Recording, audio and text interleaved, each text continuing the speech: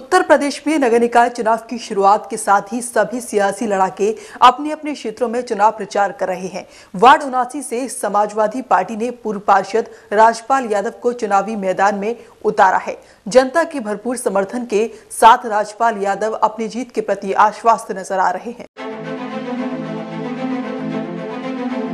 नगर निकाय चुनाव में सभी प्रत्याशी दमखम के साथ अपनी अपनी क्षेत्रों में प्रचार प्रसार करते नज़र आ रहे हैं।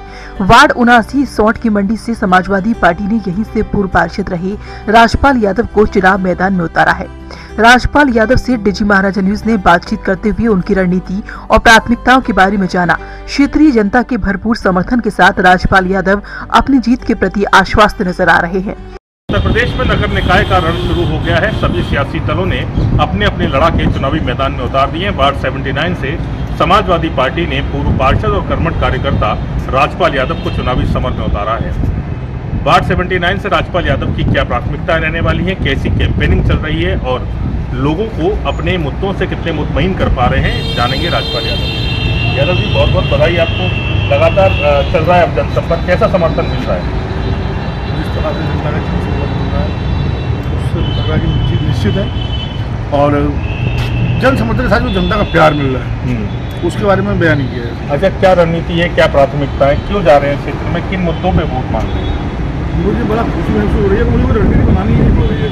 क्योंकि रणनीति मेरे जो मेरे पहले विपक्ष में जो पार्षद है वो मेरे लिए पहले ही जैसी ज़मीन बना के गए हैं तो मुझे कोई रणनीति बनाने की आवश्यकता नहीं पड़ रही। अच्छा ज़्यादा काम नहीं किया है? आरोप लगा रहे हो आप? नहीं मैं आरोप मैं मैं मैंने थोड़ा ही आप लगा आरोप तो जनता लगा रही है। अच्छा। जिस जनता ने उनको पाँच साल के लिए चुना उन्होंने जनता की कोई आवाज़ नहीं सुनी जनता को काम नहीं किया इसलिए वो जनता फिर पुनः मुझ पर विश्वास जता रही है और जनता ने मेरे को पूरा समर्थन दिया है। जहाँ भी जा रहा हूँ, जनता मुझे पूरा समर्थन दे रही है। और जनता मुझसे वही उम्मीद लगा रही है जो बारह से लेकर सत्रह तक जो मेरा कार्यकाल था।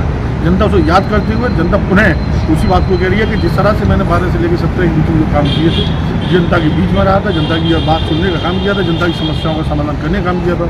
जनता पुनः वही मुझे उम्मीद लगाई हुई है और मैं जनता की उम्मीदों पूरा खा उतरूँ। जनता की उम्मीदों पर पूरा खरा उतरने की बात कह रहे हैं। देखने वाली बात है होगी कि 79 का रन दिलचस्प है। राजपाल यादव अपनी जीत के प्रति आश्वस्त नज़र आ रहे हैं और लोगों से अपने पक्ष में वोट करने की अपील भी कर रहे हैं। अपने साथ ही कैमरा पर्सन रंजीत के साथ में अमित शर्मा डिजी महाराजा न्यूज़